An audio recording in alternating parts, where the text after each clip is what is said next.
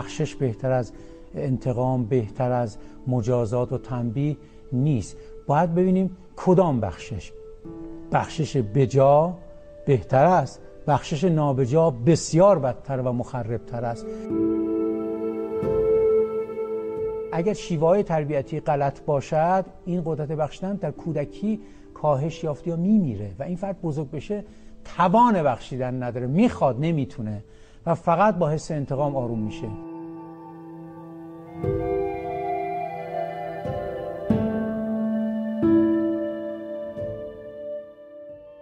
شخصیت آدما به میزانی که می‌دانن نیست به میزانی که به کار می‌برند. این توان هویت آدم هاست.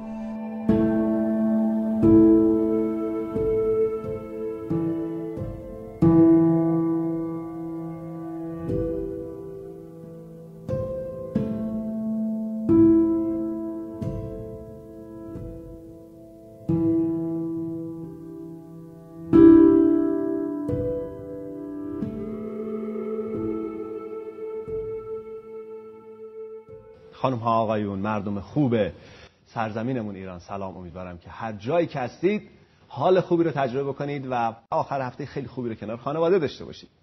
ما در خدمت جناب آقای دکتر میساق هستیم که معرف حضورتون هستن. آقای دکتر سلام علیکم. سلام عرض می‌کنم. به نام خدای بخشنده ای که هنر بخشیدن رو به نمایش گذاشت به زیبایی. ولی اکثر ما بنده ها نیاموختیم. درود بر شما. چه شروع خوبی. آقای دکتر همیشه این سوال اول برای همه پیش میاد اونم این که بخشش یا انتقام. اون جایی که آدم همیشه گیر میفته وقتی که موعدش می‌رسه. یعنی این سوالی تو ذهن ما رخ میده ولی شما فکر می‌کنین که اکثرا کدوم رو به کار می‌گیرن آدما؟ والا به که زبون آروم که. هممون میگیم بخشش. به زبون هممون میگیم بخشش. اخلاقیات بله. توی مکالمات بله. توی مجالس بحث و وعظ و اینا. بله میگیم بخشش.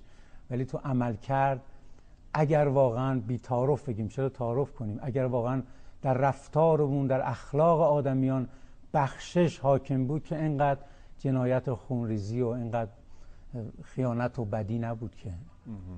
ما در ذهنمون چه بسیار چیزایی رو می‌دانیم که هرگز یک بارم زندگی عمل نکردیم. ولی این از کودکی آموختیم که بخشش بهتر است از تنبیه و مجازات کردن. از کودکی این آموختیم. من وقتی بچه بودم از وقتی که یادم میاد خاطره به ذهنم مانده خدا رو با نام بخشنده شنیدم. بله. بخشنده مهربان شنیدم. بله. و از آنجایی که به قول خدا تخلق و اخلاق الله خودتون رو مثل خدا کنید. ما هم می‌خوایم بخشنده و مهربان باشیم. ولی چرا نمیشه؟ چرا نمی‌تونیم و چرا نمیشه؟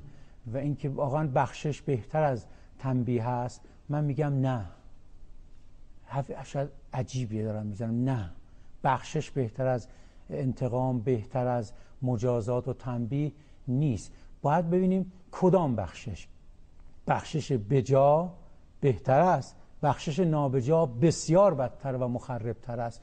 پس شرط این که کدام بهتر است بخشش یا انتقام بخشش یا مجازات و تنبیه شرطش در بجا و نابجا بودن آن است که همه تو این مشکل داریم. وقتی خیلی عصبانی هستیم ناراحت هستیم تمام دلایل رو فرا می‌خوانیم و جمع می‌کنیم در اینکه توجیه کنیم من باید انتقام می‌گرفتم. در حالی که خودم می‌دونم تو ذهن خودم اگر مصاحبه کنم با من میگم باید بخشید بخشندگی بهتر است. همین رو بلدم. همه هم شنیدیم. حتی ده روز بعد ممکنه بگم ای کاش بخشیده بودم. بله. ولی الان که تحریک شدم الان فقط با انتقام آروم میشم و الان با مجازات آروم میشم. این که کنترل بکنیم رفتار رو تحت تاثیر این ارزش که بخشش به جا چیست تنبیه به جا چیست و رفتار رو تحت تاثیر این به کار ببندیم این ارزش داره. ولی همینطوری بگیم بخشش بهتر است نه معلوم نیست. واقعا یه جایی بخشیدن بخشش نابجا لطمه می‌زنه. ببینی فرمول اینه. جرم بزرگ. مجازات کوچک می‌دهد گستاخی. میگه خب ما این خطای بزرگ کردیم که چیزی نشد. آره خلاف به این بزرگی رو کاری ندارم مسیگا پس ادامه بده. یا جرم کوچک. مجازات مجازات بزرگ. بزرگ, می‌دهد لجبازی. و حس انتقام باز ادامه رفتار. یعنی هر دو خطاست. پس اون فرمول درست اینه. جرم متناسب مجازات سازنده است. این تناسب ما رعایت نمی کنیم و بخشش میشه نابجا مجازات هم میشه نابجا اثر بد داره. می‌فهمم. آقای دکتر میسا حالا شما چون اشاره کردیم پرسش امروز برنامه ما هم دقیقا همین هست. اول اینکه بخشش بجا بیشتر انجام دادیم دو بخششی که انجام دادیم بیشتر نابجا بوده. سه تنبیه های بجا بیشتر انجام دادید. و چهار زیرنویس هم داره میشه. تنبیه های نابجا بیشتر انجام دادید. این چهار تا گزینه‌ای که حالا با آقای دکتر میساق هم داریم در موردش صحبت می‌کنیم. آقای دکتر بعضیا این مثال قدیمی لذتی که در بخشیدن هست در انتقام نیست و جابجا می‌کنن و تو زندگی آره روزمره میگن لذت. در انتقام است در بخشیدن نیست. و تو دلشون هم میخندن یعنی که مثل خوبش ها که آخش میگه حالا نوبت منه که برقصم. یعنی ضرور مسئله این دیگه. حالا نوبت منه که برقصم قصه همون حکایت خر و شطور. بله بله. که اون حکایت اومده که به خره گفتن نرو میرید دمی با شطور هم همسفر شد. گفت تو جنگل رسیدی سر صدا نکن. تا این هیزم شکنان نبینم ما رو ما رو به کار و بار بکشن از پادر بیایم. خره رسید تو جنگل و فریاد زد گفت شطور عزیز من خونم گرفت و باید بخونم. گفت هر این الان نه صدات بلند می‌فهمن. گفت اصلا نمی‌تونم خودم رو کنترل کنم باید بخونم. و شروع کرد با فریاد ارعر کردن. و هیزم شکنا دیدن اینو و پیدا کردن بردن. انقدر اینا رو به کار کشیدن که اینا بیهوش از حال رفتن. و وقتی فکر کردن مردن رها کردن. وقتی اینا به هوش اومدن شطور گفت بریم ادامه راه رو. گفت ببخش من عصبانی شدم. من هیجان زده شدم. من نتونستم جلو خودمو بگیرم اینطوری شد. گفت ببین نداره بریم. رسیدم به رودی که عمیق بود. گفت من نمی‌تونم اینجا رد شم شطور عزیز. گفت اشکال نداره دوستی برای همینه. بیا پشت من سوار شو پای من بلند است. سوار شده رسید وسط رودخونه. گفتش که خر عزیز حالا نوبت منه که برقصم. من الان رقصم گرفته. آره کینه شطوری میگن گفت سب کن اون ورتر. گفت هرگز همین الان من باید برقصم. این حس انتقامه. حالا میگیم کینه شطوری معروفه که بعضیا این حس قدرتمند درشون دارن. که اتفاقا وقتی من قدرت بخشیدن این حس بخشیدن رو متناسب با نظریات گوناگون نظریه روان تحلیلگرا نظریات رشد نظریات شناختی اینا بررسی می‌کردم هر کدوم به گونه ای روش های ارائه دادن. تو نظریه رشد مثلا چیکار کنیم که این قدرت بخشیدن توی افراد رشد کنه و بالا بره؟ که اگر شیوه تربیتی غلط باشد این قدرت بخشیدن در کودکی کاهش یافته یا میمیره و این فرد بزرگ بشه توان بخشیدن نداره. می‌خواد نمی‌تونه. و فقط با حس انتقام آروم میشه. و الگوهای شخصیت شناسی و تیپ شناسی نوع این قدرت بخشیدن رو تعیین خواهد کرد. خب من گفتم که این بخشش بجا و تنبیه بجا در حس. حالا بعضیا اینطوری فکر می‌کنن که خب الان بحثمون بحث پند و اندرزه. ما می‌خوام بگیم ببخشید. اصلا بحث من از پند اندرز خیلی زیاد خوشم نمیاد برای اینکه گوشمون پره. ما خیلی می‌دانیم که یک دهمون رو هم شاید به کار نمیبندیم. به قول واقعیت گویی علمیه. آره آره. ما واقعیت رو میگیم. به قول امام صادق چقدر زیبا میفرماد العاقل و اذا علم عمل علامت شعور این است که همین که دانست به کار بندد. و شخصیت آدما به میزانی که می‌دانند نیست به میزانی که به کار می‌برند. این توان هویت آدم هاست. و الا چه بسیارن سرگندگان بیدل خیک علمن ولی مرد دل. دلی ندارن که دل انسانی که بخوان عمل بکنن. و اون درست نیستش که. خب در بخشیدن در کدوم ارزشش بیشتره؟ بستگی داره به همین بجا بودن. همینو می‌خواستم بپرسم. دکتر میساق جایی هست که اصلا نباید بخشید؟ یعنی این بخششه اون معیارش کجاست؟ شاغولش کجاست که بگیم این ور بس بخشید اون ور نباید بخشید؟ داریم همچین چیزی اصلا؟ بله ببینید تو خود قرآن هم هست. اعتقادات ما هستش که خدا وقتی توبه رو میپذیره که فرد اظهار ندامت کنه بعدش عمل صالح و حس جبران میاد. مثلا ما نمی‌تونیم منحرف رو ببخشیم. لغزش بخشیدنی است انحراف نه. فرق دارن انحراف بخشیدنی نیست. چیست توبه کردن؟ آن که باز نگردد فرد به آن کاری که از آن شده پشیمان. وقتی مثلا یه وقت من یک جسارتی می‌کنم یه تندی می‌کنم به شما میگم که ببخشید اون لحظه اینطوری شد و اینا. تازه اینم باز به همین سادگی ببخشیدم. من خودم روی مشکل دارم. به همین سادگی نمیشه هر کاری بکنیم بگیم ببخشید. حالا فرد گفت ببخشید. خب ما باید ببخشیمش. اگر اینجا میگیم که جسارتی شد دیگه تا بالا نیده بودی از من و شأن و شخصیت من هم چنین نبوده نمی‌شناسی چنین سابقه ذهنی نداری. میگه خب پیش اومد دیگه برای منم پیش میاد بخشیدم. اما یه وقتی هست ببخش منو ما آدم من آدم حتاکی هستم. من کلا دهانم دست خودم نیست. منو ببخش. من کلمات رکیک من عصبانی میشم نمی‌فهمم من نمی‌فهمم. آره، جمله معروفی انحرافو که نمیشه بخشید که. ببخش من دزدم. چه بخشیدن این؟ بعد بخش اینجایی که فرد ادامه می‌خواد بده خدا هم نمیبخشه. من چطور ببخشم؟ پس صفات رو نمیشه بخشید. رفتار رو روش رو میشه بخشید. منش که نمیشه بخشید. منش من اینه که آدم عصبانی بشم حد که حرمت می‌کنم. منو ببخش نه نمیبخشمت. منش من اینه که من سوء زن دارم. من بدترین تومت رو به تو می‌زنم. میگم تو قصد این بود تو قصد اینه. ببخش من گفتم قصد اینه خب بازم میگی. برای اینکه این صفت توست این منش توست. منش که قابل بخشش نیست. ببخش منو تو این مدت خیلی اذیتت کردم. بازم اذیت می‌کنی. بعد این بخشیدن که مثلا یکی میاد میگه ابراز پشیمانی می‌کنه این استغفار این بخشیدن وعده تحول است نه خود تحول. منو ببخش معذرت می‌خوام. این وعده تحول است. خب باشه من ببخشم به چه امید؟ بعد گناه درمان نشده رفتار درمان نشده رو من چجور ببخشم؟ تا الان ده سال 20 سال من آزار می‌دادی یا کتک میخوردم یا توهین می‌کردم مثل خانم یا آقای برخورد با هم دارن. میگه منو ببخش ده سال تو رو آزار دادم. خب بخشیدن که کاری نداره. ولی گناه درمان نشده که بخشیدنی نیست. پس صفت بخشیدنی نیست. انحراف بخشیدنی نیست. گناه درمان نشده بخشیدنی نیست. منو ببخش.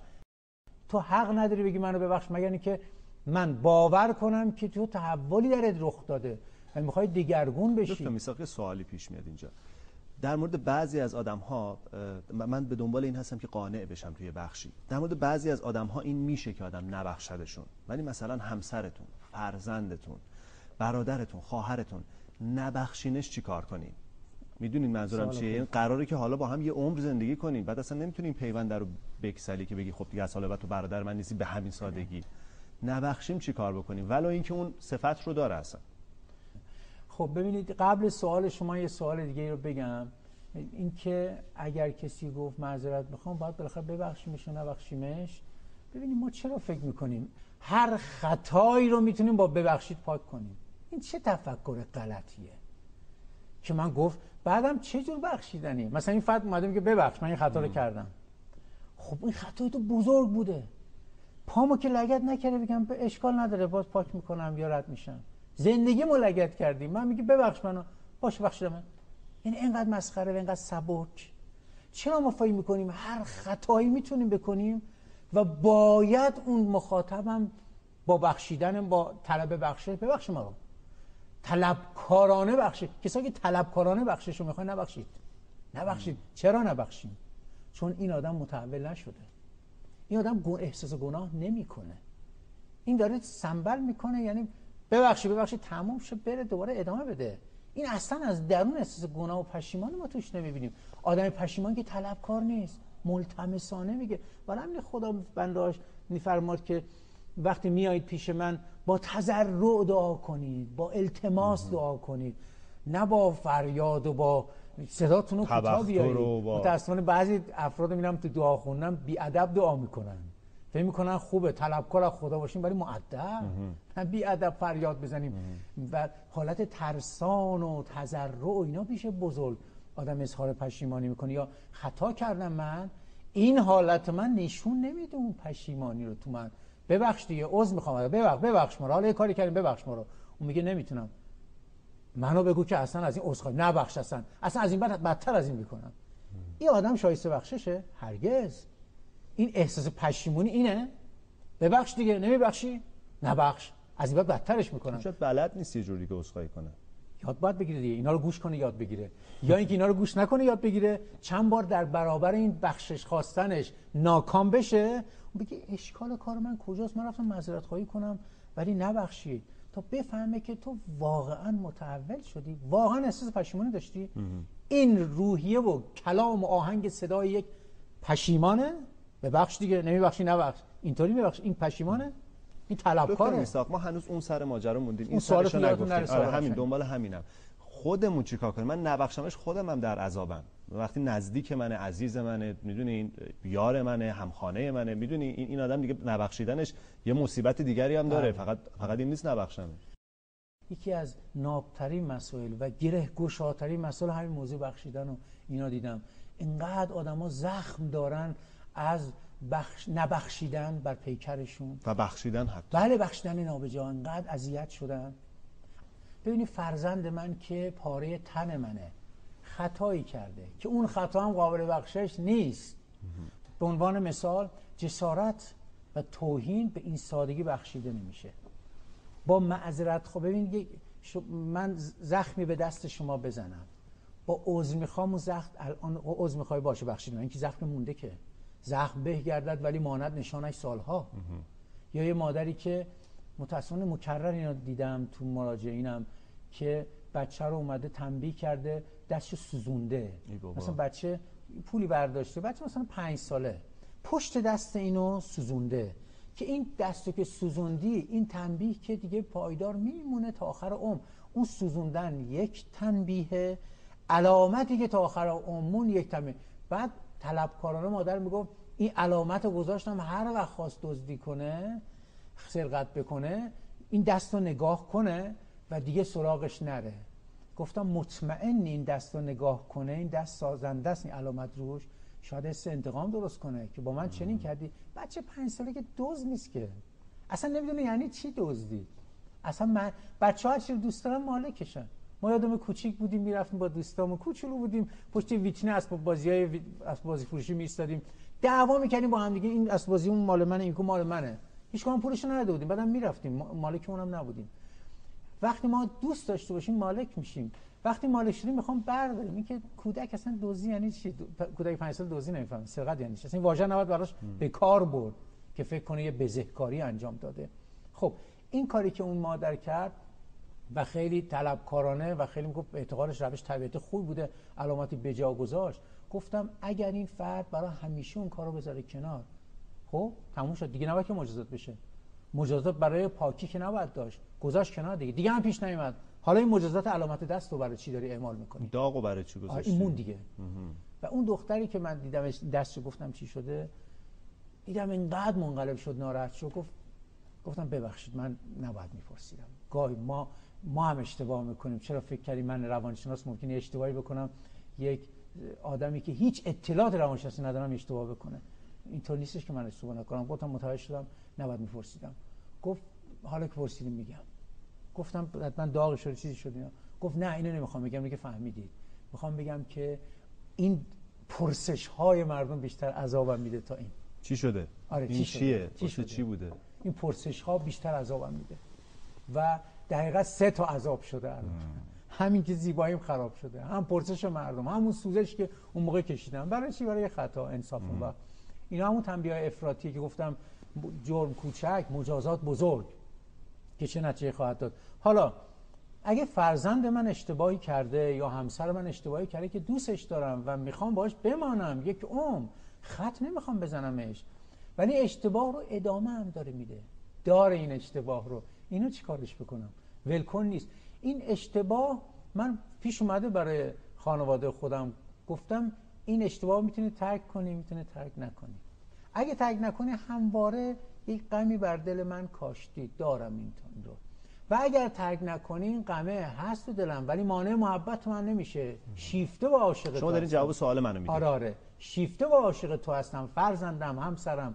اما این غمی که تو دل من هست به خاطر اون روشی که ادامه دارد خطایی که ترک نکردی اون صفت آثارش اینه که قیمت تو رو میاره پایین. چه جمله خوبی گفتی. قیمتت میاد پایین. تو می‌تونی مثلا میگیم سیگار نکش. تو میگی من می‌خوام سیگار بکشم مثلا. آدم تو فرزندم میگم تو خانواده ما دود نیست. و اصلا به شدت پرهیز دارم. اینو بگم تایید نکنم اینو. می‌خوام سیگار بکشم بر فرض. باز هم دوستت خواهم داشت. باز هم عاشقتم. اما قیمت دیگه اون قیمت قبل نیست. یعنی قیمتت میاد پایین. اگه مهم نیست برات من کاری دیگه نمی‌تونم بکنم. واقعا قیمتت میاد پایین. محبت جای خود ولی محبوبیت جای خود مقبولیت میاد پایین. و این مقبولیت اومد پایین آثاری خواهد داشت. آثارشان باید ببینید اعتماد من کجاها. دیگه به تو کم خواهد بود. چقدر رو تو سرمایه گذاری می‌کنم. چقدر به تو بها میدم. قیمتت میاد پایین. بعد یه نکته ظریف. بعضی میگن یک بار خطا کردم. بعضی خطاها یک بارش هم بخشیدنی نیست. یکی یک بار مثلا یه خانم یک بار فقط خیانت کرده به همسرش. خب این چجوری بگی فقط یه بار شد آخه. ببینید بعضی خطاها یک بار من, یک بار بانک زدم. چی میشه؟ آیا بگیم ببخش هم نمی‌زنم. یه جو باید بزنم که تا آخر عمر زندگی کنم. ولی یک بار اتفاقا یکی از بچگان از من پرسید میگه مثلا سیگار ضرر داره و یا اگه کسی یه بار بکشه این دود گازوئیلی که الان ما داریم استشمام می‌کنیم که می‌دونی روزی فکر کنم چند پاکت داره می‌کشیم خواسته ناخواسته. حالا من یه بار بکشم تو ناراحت میشی. گفتم به شدت به شدت با این تاکید دارم میگم. خب چی میشه؟ حالا منطقی صحبت کن. عاطفی و احساسی نه گفتم باشه. خب چی میشه؟ خب این ضررش چیه؟ می‌خوای ضرر پزشکیشو بگی دیگه گفتم نه. این نیست. اصلا راست میگی. اگه صرفا به خاطر ضرر پزشکیشه واقعا یه سیگار اصلا روزی دو تا هم بکشی مهم نیست. آره اصلا توی فضای تهران یه پاکت هم بکشی همون شده. پس این نیست.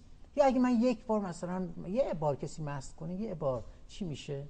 گفتم ببین اونی که منو داغون می‌کنه متلاشی می‌کنه و میشکنه منو اون اینه که اسمت تو از بین میره. قیمت آدما به اسمت آدم هاست. اسمت من از دزدی. من هیچ وقت دزدی نکردم. اسمت من از فحاشی. من هیچ وقت فحاشی نکردم. اسمت من از هر بدی بزرگی که می‌بینم این اسمت قیمت داره. اگه من یک بار من یک بار دزدی کنم هم باید جبران کنم از اون طرف عذرخواهی کنم هم قانون منو میبخشه هم خدا میبخشه دیگه هم تکرار نشد. ولی اون اسمت قبل دارم؟ نه. قیمت قبل دارم؟ نه. پس قیمت انسان ها به اسمت آدم هاست. این اسمت رو نگه داریم. پس ارزش داره یه اسمت زیبایی شکسته بشه مختوش بشه برای یه دود کوچولو میارزه نه. دکتر میساخ با این جمله خوبتون این لحظه نگه داریم گفته گروه و اینکه یکم فکر بکنیم به اینکه قیمت آدم ها به اسمتشونه بریم یه سری به اتاق فرمان بزنیم بیایم یه نفس تازه بکنیم بله. و گفته گروه ادامه ما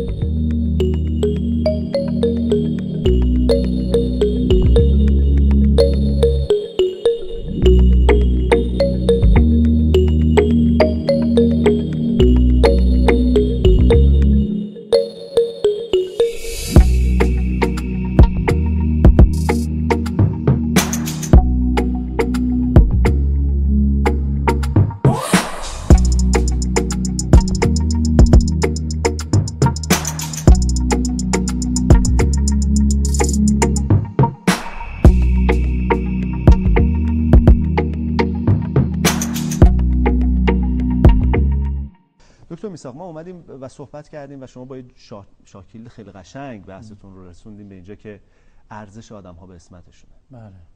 ببینید توی در بخشیدن دیگران ما کسی رو که می‌خوام ببخشیم باید لیاقت بخشش رو در رو ببینیم. این خیلی مهمه. بعضیا میگن که اگه او لایق بخشش نیست تو لیاقت بخشیدن داری تو ببخش. من اینو قبول ندارم. جمله خیلی مصطلحی هم خوشگلم است ولی بله. قبول ندارم. اشکال ما اینه که پر شد از این جمله های خوشگل غلط. او لایق بخشیدن نیست تو ببخش. می‌دونی این چه خیانتیه به او؟ بزرگی از شما است آره بزرگ تو ببخش تو بزرگی. چون من بزرگم ادبش می‌کنم. نه اینکه من بزرگم به اگر نابجا ببخشم او گستاخ خواهد شد. او جرأت پیدا خواهد کرد. خدا هم نابجا نمیبخشه. کجا خدا توبه نکرده رو بخشید؟ وقتی میگیم توبه نه معذرت خواهی. گفتم همه فکر می‌کنن هر کاری می‌تونن بکنن. بعد ببخشید اشتباه عصبانی شدم. مثلا یکی اومد به من اهانتی کرد. گفت ببخش من اون روز عصبانی شدم. گفتم بخشیدمت به شرطی که هرگز دیگه نبینمت. چون من که احتیاجی به تو ندارم. تو هم که الان رابطه خراب شد اون حس رو به تو ندارم. خداحافظ ما باید بدونیم که بعضی خطاها جرمش با پنج ثانیه پاک نمیشه و بی ادبی پاک نمیشه. یه آدم نادون بخشیدن نداره که. این آدم به خاطر نادونیش از این مدل اشتباه ها می‌کنه. من وقتی بفهمم این خطای فرد از نادونی این فرده یعنی اسم نادونی میگم حماقت. بفهمم از حماقته اون فکر می‌کنه به خاطر این خطاش نبخشیدم. نه به خاطر اون حماقت نمیبخشم. خطا چیزی نبود. تموم میشه میره. ولی باز این کارو می‌کنه. این اینه. این آدم آتیش بحران سازه. از آتش کجا بردمد باد سرد؟ این از این همین در میاد ز گل بوی خوش و از خار خستنی خاره زخمی می‌کنه. حتی غیر ارادی ها خوش هم نمی‌دونه ها. اینا بخشیدنی نیستن. به بهانه و رفتار خط می‌خوره فرد. که از این فرد در نمیاد. هویت این فرد باز این خطاها در میاد. درونش تو نظام اینه. شناختیش مسئله ساز بحران ساز مثل آدمی که سوء زن داره. بدبینه. بدبینه. الان بخشیدیش. شک کرد. و اتهام بد زد. این شکاکه دیگه. خب بازم این کارو می‌کنه. الان ببخشش. چون این در وجودش این گرایش. ببینید آدم نادان آدم منحرف آدمی که یک صفت درش تمام اینا اینا نمیشه بخشید. و آخرش هم آدمی که احساس پشیمانی و گناه نداره و بعد آدمی که در بخششش هیچ برنامه درمانی نداشته. یعنی فقط پشیمان است. مثل یک معتادی که می‌خواد ترک کنه و ترک نکرده تا الان. بچهش میاد گریه می‌کنه پدر من احساس خفت می‌کنم تو اینطور شدی منم می‌خوام پدرم رو معرفی کنم. این یه لحظه هیجانی میشه احساساتی میشه. قول میدم قسم می‌خورم تر- ترک می‌کنم اینا هیجانی میشه.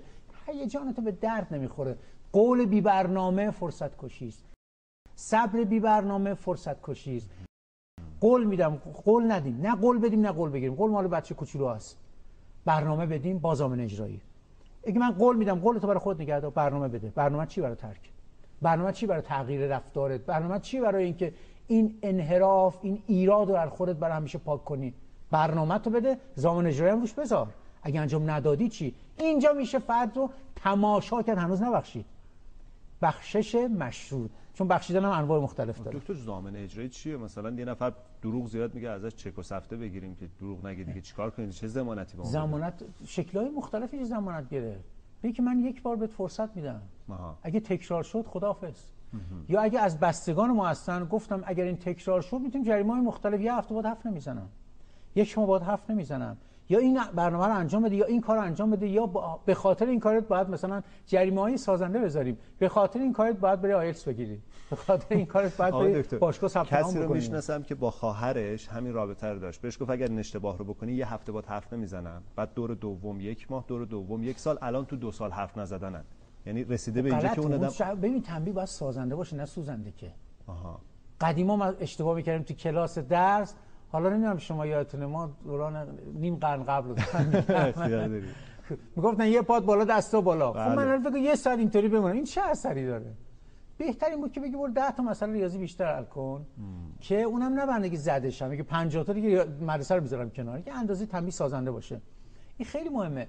ببینید من میگم که میشه این جریمه گذاشت. به شرطی میبخشمت که نگاه کنی فر اضافه وزن داره 20 کیلو. بگو 15 کیلو کم کن میبخشمت. بابا هفت نمی‌ذارم تا 15 کیلو کم بشه با این شرط اگه واقعا پشیمونی جورشو بده جورشو بده. جالبی واسه بخشیدن وجود داره نه اینکه به شرطی میبخشمت بعضی اشتباه بزرگی که می‌کنن باید خورد چی پیش من زانو بزنی بله، ببخشید. بگی نمی‌دونم غلط فلان بگی نمی‌دونم اشتباه و غرور تو قشنگ پایمال کنی پیش من تا من ببخشم. حالا تصمیم بگیرم آیا ببخشمت یا نه آره؟ آره چقدر بد این کار. اصلا نباید اقرار اقرار گرفتن کار خوبی نیست. اصلا ارزش نداره. که اقرار کن اقرار کن اشتباه کردی بگو بگو بگو اشتباه کردی. ارزش نداره اقرار گرفتن که. اینم داریم وادارش می‌کنیم اصرار داریم می‌کنیم فشار بهش میاریم که اقرار بکنه خب این که اعتبار نداره ما این کارو می‌کنیم آخر. آره میگه بگو. تو بگو من اشتباه کردم باید بگی باید بگی. اون اگرم بگی حس انتقام درش به وجود میاد تو فقط جیگرتو خنک کردی؟ این دیگه تنبیه حالا اینکه است. بیاد عذرخواهی بکنه که دیگه درسته. اگه خودش اومد عذرخواهی کرد که خطا نه مثلا کرده تا عذرخواهی نکنی همین آش رو همین کاسه مثلا. من این رو هم من نمیپسندم. کسی رو نکشید بیارید عذرخواهی کنه. ما چرا اینقدر عذرخواهی می‌کنه اولا خطا نکن عذرخواهی هم نکن. تازه اگه خطا کردی اعتقاد خود من اینه. اول با رفتارم نشون میدم پشیمونم. بعد میرم عذرخواهی می‌کنم. یه کمی شرمساری یه کم آره نشون میدم. ناراحتی و تغییر رفتار. من پشیمونم که اهانت کردم از امروز که احساس پش اولا پشیمونی نشون میدم. که من نادمم. بعد که پشیمونیمو نشون دادم حالا تو رفتارم تغییر رفتار ادب رو به کار می‌گیرم. اینقدر تا اون ببینه این تغییر رفتار حالا میگم فکر می‌کنی شایسته گذشت هستم؟ ببینه هست یعنی اون وقت اون طرف خجالت می‌کشه که نبخشه. اما همین الان هنوز هنوز گوشمون داره زنگ می‌زنه به خاطر اون اهانت. ببخش بخش شدن آخه نمیشه یه سال واقعا باید همون موقع گفت. یعنی به زیر رد بشه ازش بدتر میشه فکر کنم. ببین ما با رفتارمون همون لحظه ندامتمون رو نشون بدیم. من یه خطایی کردم در قبال شما. زودی هم ببخش من می‌تونم مثلا دست رو بگیرم سلام نظام پایین. این قشنگتر نیست. ببخش ببخش منو ببخش منو. عذرخواهی های مسخره و سبک فرد گستاختر می‌کنه و عصبانی تر می‌کنه. میگی تو باز داری میگه عذرخواهی. اصلا بی ارزش میشه. میگه بسه عذرخواهی نکنی ها. و خوب سبک بشم. خوب درخواستی بکنم معذرتی بخوام که اون نمیبخشه و من خورد بشم. وقتی معذرت خواهی می‌کنم که ایمان دارم ایمان دارم که به قلب فرد میشینه. و وقتی هنوز آماده نکردم رو بر پذیرش و خودم عذرخواهی نمی‌کنم. خب کسی که معذرت خواهی داره می‌کنه اول تو رفتار به نمایش می‌ذاره احساس ندامت و نشون میده که تغییر کرده. بعد که نشون داد اگر جزو اون صفت ها نباشد که صفت باشه که باید مدتی بگذره تا این تحول به وجود بیاد درش. من می‌خوام بگم که این بخشش نابجا. به خاطر بخشش های نابجامون ما مجرم رو گستاخ می‌کنیم. یه کسی که خطا کرده میفته مثلا مجازات میشه. مجازات کوچولویی میشه سه چهار تا هم اف بخوره میاد بونه اه ترسش ریخت. می‌دونی اون ترس خیلی قیمتی است. همیشه ما تنبیه داریم می‌کنیم. من میگم تنبیه با کتک زدن و اینا. بذارید آخری مرحله. ترسش نریزه. قیمت آدما به ترس از مجری ترس از قانونگذار ترس از مربی است. واسه همین خدا کسایی که از خدا میترسن اینا رو خیلی قیمتی می‌دونن. نه کسایی که خطا می‌کنن یه خوف داریم یه خش داریم. خوف یعنی ترس از عواقب و خطا عواقب و نتایج بدی که ما کردیم. خش یک ترس عاشقانه است. یعنی اینقدر دوست دارم فقط میترسم از هم دلخور بشی. خش زیباست. واسه همین خدا میگه علما هستن که از خدا میترسن خشی دارن. من عباده العلماء آیه قرآن است که نما یخش الله من عباده العلماء. علما هستن که تر... یعنی اینقدر می‌شناسن اونا. این عالم یعنی چی؟ یعنی می‌فهمه مقام خودشو. می‌فهمه مقام مربیش رو. جلال و عظمت رو درک درک کرده. حالا بین دو تا بنده دو تا آدم مثال بزنم. من می‌فهمم چه خطایی کردم و من می‌فهمم چه ساحتی رو شکستم. این خش به وجود میاره این ترس و دیگه تکرار نمیشه. دیگه هرگز قلبت رو نخواهم شکست. هرگز. آقای دکتر رسیدیم به قسمت دقیقه شماری آخر برنامه. چقدر مونده؟ فکر کنم 4 5 دقیقه. ما چهار تا گزینه داریم و اینکه حالا بد نیست که اگه موافق هستین راجع به این چهار گزینه‌مو یه کمی گپ بزنیم با شما خودتون پیش بینیتون چیه؟ چهار تا گزینه داریم. یک بخشش به جا دو بخشش نابجا سه تنبیه به جا و چهار تنبیه نابجا و اینکه پرسیدیم کدومی که از اینا رو بیشتر تجربه کردین شما خانم آقایون. به نظر شما پاسخ کدومه بیشتر؟ من معتقدم اکثرا میگن که من بخشش نابجا داشتم. نابجا. راضی نیستن از اینکه بخشیدن. آره روش زیاد شد. اکثرا اینو میگن. و این حس رو دارن. ولی خب بده که من عمری رو بخشش نابجا داشتم پس چرا اصلاح روش نکردی؟ عاقل در مشکلات تدبیر می‌کند نادان قصه می‌خورد. دستم زخمی شده بشینم دلی دلی بگم که این درمان نمیشه که. باید پانسمانش کنم. ما فقط آه و اوه می‌کشیم قصه می‌خوریم. خب چرا اگه بخشش نابجا کردی ادامه دادی؟ چرا واقعا؟ واقعا این سوالی دکتر الان تلفن زدن به اتاق فرمان خیلی ها و بله. الان خانم سپاندو داره به من میگه که اصل صحبتشون اینه که اصلا خیلی ها قبول نمی‌کنن که این اشتباه کردن. و آدم میمونه الان خب چیکار بکننش؟ ببخشمش نبخشمش. که اصلا توبه نکرد جواب جواب میدم. توبه نکرده رو خدا هم نمیبخشه. ما ببخشیم کی گفته همه کار رو باید ببخشیم؟ هر رفتار خطایی رو باید ببخشیم. نه خیر. بعد اون کسی که نپذیرفته خطاش رو دوستش داریم. اینم هستا دوستش آب در بستر مایه آبادانی است خارج از بستر سیل و ویرانی است رحم غیر منطقی ویرانگر بیرحمی منطقی سازنده است. همین تفاوت ما و خدا همینه. بگیم بخشنده ما خدا یه جایی منتقمه یه جایی بخشنده است. خدا یه جایی چنان نمیبخشه و ترک می‌کنه و پشت می‌کنه به اون بنده که ما شک می‌کنیم. مثلا خدا هست؟ خدا چرا تنها گذاشتی؟ خبر نداریم از اندازه جرممون. ببینید علم آموختنیه ولی فهم آموختنی نیست. علم از کتاب ها و سخنرانی ها می‌تونه به دست بیاری ولی فهم از دل تجربیات باید به دست بیاری. برای همینه میگم درسی که با مهر از آموزگار نگرفتی با قهر از روزگار خواهی, خواهی گرفت. و روزگار سنگین درس میده خشن درس میده. بعضی ها رو میان پیش من میگن که این فرانکس می‌خوام میگیم مشکل داریم بیا همسر مشکل داریم ببریم پیش مشاور میگه من مشکلی ندارم تو مشکل داری. اینقدر این جمله دردناک آزاردهنده است که حد نداره. یعنی بنبست دیگه. من مشکلی ندارم. خب باشه تو مشکلی نداره خانومت مشکل یا آقات مشکل داره. بیا اونو کمک کن. تو بیا دو نفری به کمک مشاور اینو درست کنیم. چرا وقتی تو همکاری نمی‌کنی؟ میترسی. پس داری مشکل میترسی ته دلت باور داری یه چیزی خودت بله. هم داری؟ میترسی فرو بریزی. یعنی همون نخوت و تکبر و غرور. و اینطور آدما در جهل مرکبن.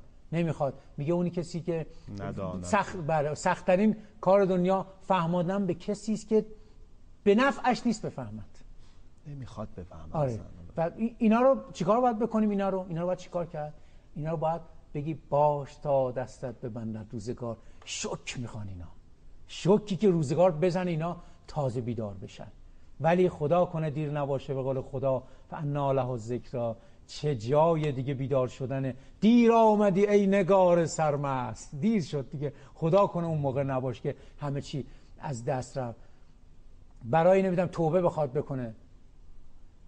چه سود از دوز آنگه توبه کردن که نتوانی کمند انداخت بر کاخ. دیگه حالا نمی‌تونی؟ پشیمانی در دام چه سود؟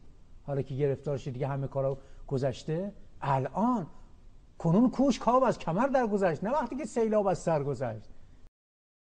دیر نکنیم زودتر اقدام بکنیم. اختلاف جسده زود باید دفنش کرد. دفن نکنیم میکروبش همه رو نابود خواهد کرد و همه رو از بین خواهد بود همه رو زدم از بخشش به جا و جا ولی قلب عاشق هنر بخشیدن داره. میگم هنر بخشیدن. افرادی که لایق بخشیدنن. اون چنان زیبا میبخشه ها که اینا میرن تو آغوش خدا. درود بر شما. خیلی ممنونم آقای دکتر میساق که ما رو امروز همراهی کردین. امیدوارم خانم آقای شما لذت برده باشید تا دیداری دوباره. بدرود خانم آقای.